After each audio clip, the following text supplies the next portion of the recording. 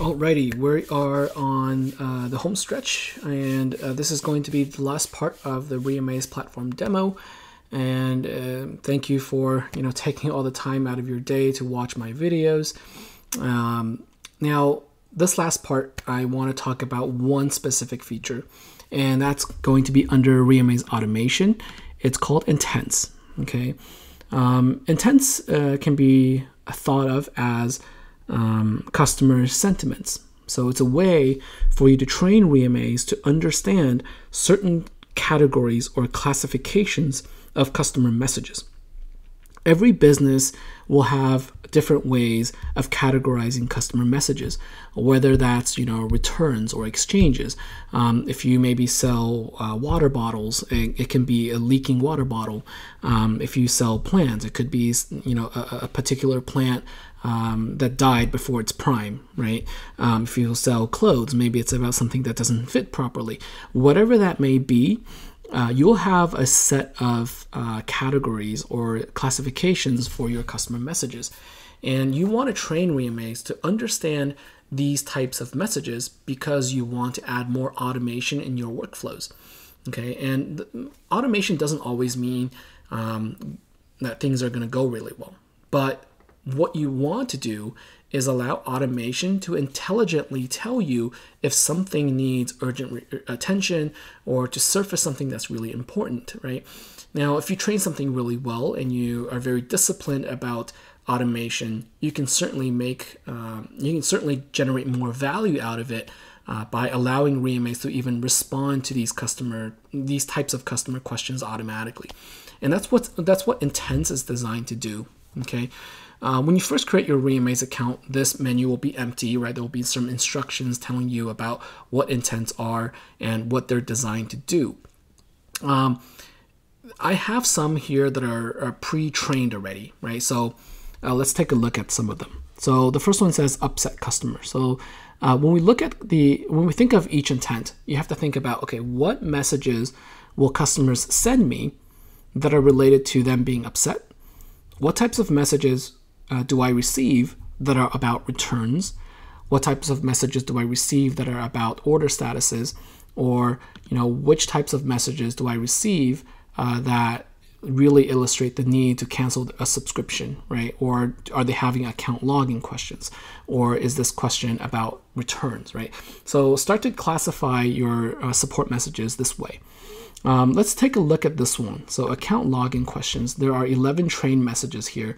So it's not quite trained because this is a demo account and we recommend at least 30 trained messages for an intent to be uh, intelligent enough to use right on a, day-to-day basis. Um, so let's look at the review log here. So there's learning and then there's review. Um, so let's look at review. So here are some train messages. I have an account problem. Where do I find my account password? Uh, I can't log into my account anymore, or I need help with my account.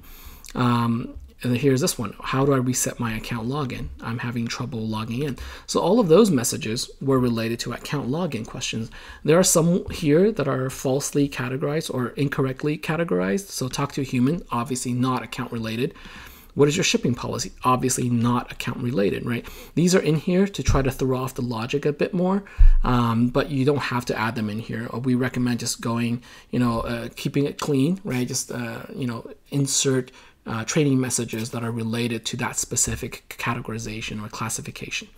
Okay, um, you can if you move over back to the learning tab, you can continue to add questions to the training log. Um, let's say another way to ask this question is, um, where is my account? Um, I can't find it, right? So that's that's an account login related question. So you can add this message to the training log, and Reamaze will kind of recrunch the data and retrain kind of the, the, the algorithms that's behind this specific intent. Okay. Uh, but before we add it, though, we might want to test how, how confident Reamaze is that this will be a match. Okay. So if we click test message confidence, Reamaze will tell you that it's 77% confident that this particular message, based on historical training, is related to account login questions. Okay, um, so then you, you can feel pretty confident about adding that into the training log. Another way to add messages or more training data is actually go through your existing support channels. So you can look through your emails or your chats, right? So let's look at Daffy support and we'll look at um, just the chat origin and we'll look for the word account. Okay, again, this is a demo account, so it's not going to be very accurate. Um, so you can go through all of these that Reamaze has found. Sales events, nope, this is not related. Tell me more, not related. Reamaze can also tell you, you know, there's 0% confidence that this is related. Um, again, this matches because there's some, you know, incorrect data in there. So this one says 16%, but it is not related, right? I have a question about shipping. Nope, not related. So you can go through these um, on a weekly basis and kind of cherry pick the ones that are that really are account login related. The more you train, the more intelligent this becomes. Uh, the more you train, the more data we have to work on natural language uh, understanding, right? Um, so when you next when the, the, next time you encounter a customer question that's related to account logins, and the customer is asking it in another way, Reamaze can kind of um, apply that logic to understand the question. Um, let's let's just try something else. Um, uh, account login related. Mm. Uh, where is our, how do I reset my account login, right? I can't uh, find it anywhere. Please help me access my account again, right? Let's see, test this, test this message confidence, 88%, that's pretty good, okay? So now, you know, this requires obviously discipline and, and, and uh, resources, right, to, to set up. So it is quite a big feature um, but it is very helpful.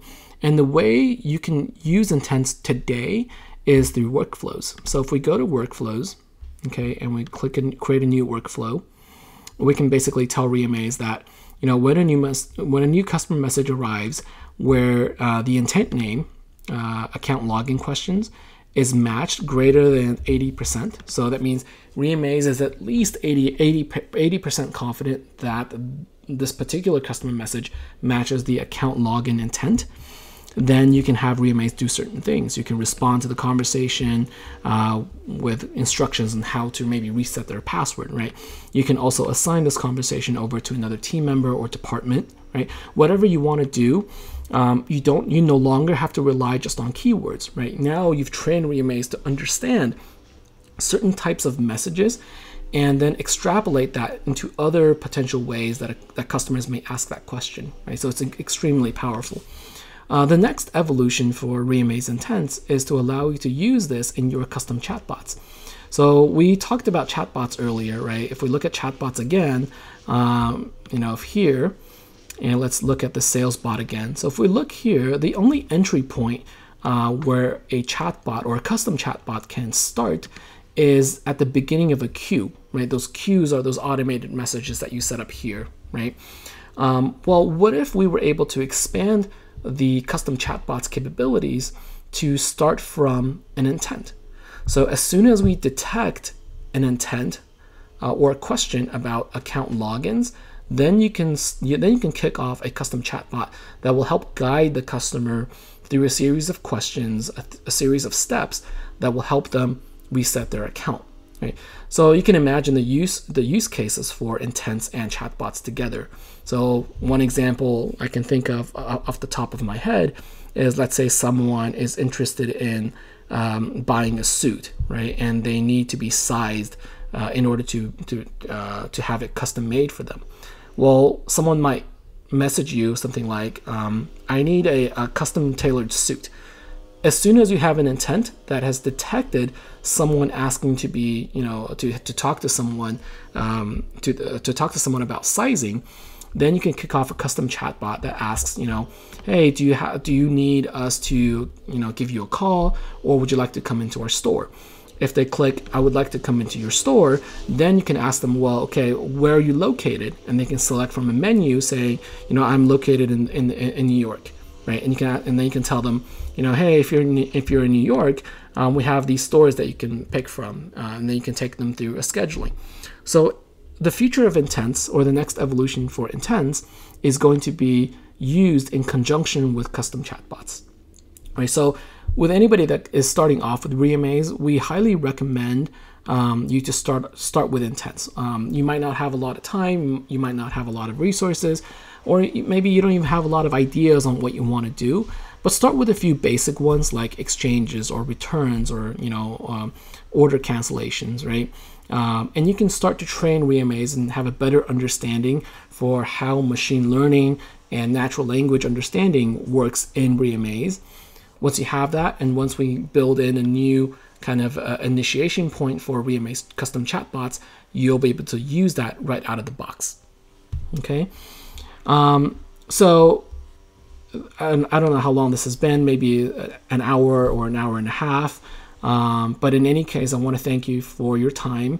Uh, I know it's it's a, you know ReaMaze is, is a pretty complex platform, um, but we've designed it in a way that's one very flexible and two hopefully easy to use. Right, whether or not you want to set up just the inbox for you know managing your emails, right, or getting advanced as advanced as using custom chatbots that work with workflows, and then you know, you know getting it routed to the right agents for for for chatting with with people, um, you can you know uh, take it step by step. Um, we're always here to help. So if you have any questions, definitely reach out to us.